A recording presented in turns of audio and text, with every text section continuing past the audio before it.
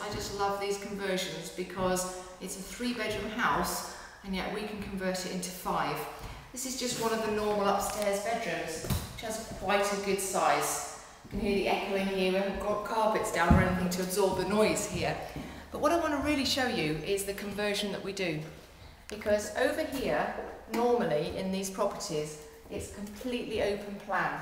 So there's a room in here and there's a room next door and all the way up the staircase you, you can just see right the way through. So what we're able to do by putting a new door in the back for exit and we're putting two new walls, one here and one on the other side of the stairs, allows us to have two new bedrooms, both double sizes downstairs.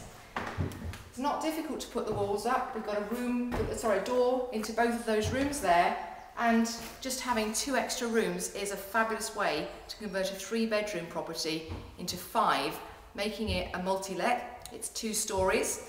Now, there is only one bathroom traditionally in the property. That's quite a nice bathroom in this, in this one. And uh, we'll just touch up the grouting there and make it smart again.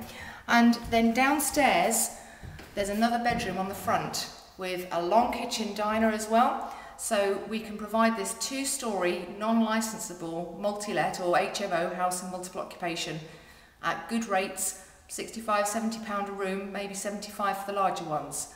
And that gives us very, very good income. So come downstairs with me, let's see what's downstairs.